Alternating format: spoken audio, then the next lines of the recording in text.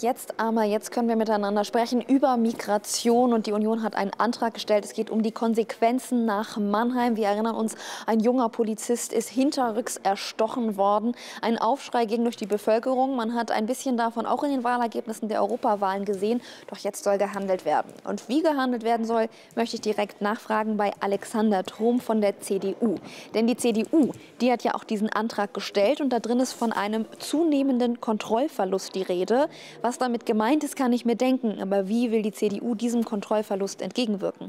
Wir dürfen nicht in das ewige Ritual verfallen, dass wir nach Schock und Trauer nach dem Anschlag von Mannheim zum nächsten Thema übergehen. Es müssen jetzt wirkliche Konsequenzen äh, stattfinden. Und das fordern wir von der Bundesregierung ein, weil ansonsten nimmt die Bevölkerung die Untätigkeit des Staates als Ohnmacht des Staates. Und deswegen muss der Kanzler als allererstes sein Versprechen erfüllen, nach Afghanistan und Syrien abzuschieben. Allerdings erkennen wir, dass äh, die Grünen dieses offensichtlich verhindern wollen, jedenfalls die Außenministerin Baerbock. Und deswegen müssen wir hier das Wort des Kanzlers einfordern.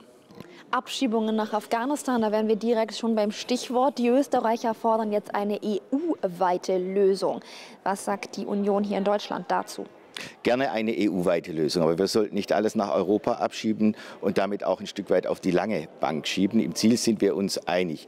Der Kanzler hat es für Deutschland versprochen, deswegen muss er es in Deutschland auch erfüllen. Und ich will ein weiteres hinzufügen. Wir fordern in diesem Antrag auch die Schaffung eines unbefristeten Ausreisearrestes für Schwerststraftäter und Gefährder. Quasi ein Arrest mit drei Wänden Drei Wände zurück in die deutsche Gesellschaft sind dauerhaft auf immer verschlossen, aber eine Wand in Richtung des Heimatlandes steht jederzeit offen. Es hängt also im Belieben des Straftäters ab, wie lange dieser Arrest dauert.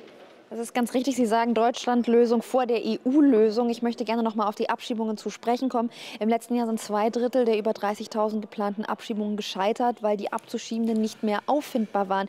Können Sie vielleicht zwei konkrete kurze Punkte nennen, wie die CDU dieses Problem lösen möchte?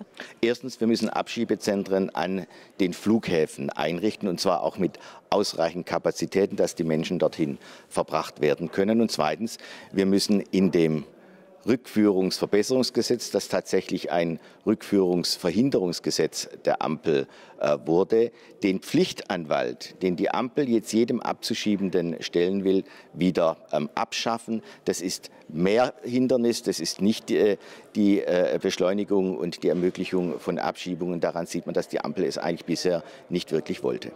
Herr Trum, Konsequenzen sind aber nicht nur Migrationspolitik und Abschiebungen, sondern auch die Radikalisierung, die vor Ort stattfindet. Zum Beispiel die Blaue Moschee in Hamburg, immer noch nicht geschlossen oder angegangen worden, liegt beim Innenministerium. Was läuft da schief?